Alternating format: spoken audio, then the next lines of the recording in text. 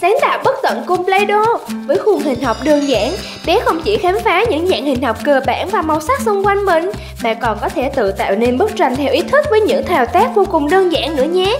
Bộ sản phẩm còn giúp phát triển vận động và sáng tạo của trẻ. Ba mẹ còn có thể cùng bé học đếm số một cách tự nhiên và vui vẻ với bộ khuôn chữ số vui nhuận nữa nha. Sản phẩm giúp bé khám phá thế giới của những con số thật vui và thú vị. Dành tặng bé bộ sản phẩm Play-Doh đầu tiên với chương trình ưu đãi đặc biệt từ siêu thị và nhà sách